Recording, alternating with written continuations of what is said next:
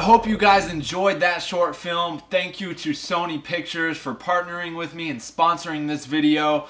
The movie Don't Breathe was super awesome, so I was super stoked when this opportunity came about. I saw the movie back in theaters when it first came out, and I remember when I saw it, I came home and I just, I, that's all I talked about was the movie. It's such a good movie, one of the best thrillers that I've seen in a long, long time. I remember seeing a trailer talking about that it was one of the best thriller suspense movies in the last 20 years, and I have to agree.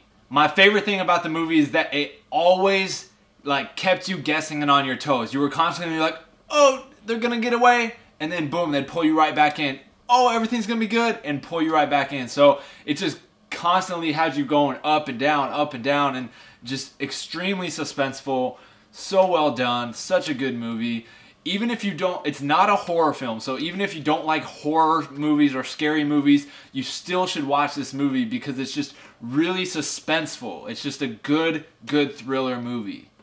Don't Breathe actually got an 87% on Rotten Tomatoes. It was the year's best reviewed thriller movie on Rotten Tomatoes. So if Rotten Tomatoes says it's good, it's good. Thank you guys again for watching this short film. If you liked it, make sure you leave a thumbs up and a like. And if you haven't seen the movie Don't Breathe yet, you need to see it. The link in the description. Um, the movie is now out. It's out on Blu-ray and DVD. It's been released. So go click the links in the description below. Go watch the film. Um, leave me a nice comment if you like this short film. And again, thanks for watching. Peace.